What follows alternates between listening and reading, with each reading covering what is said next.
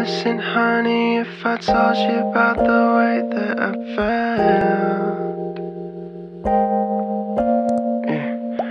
I wouldn't waste a minute.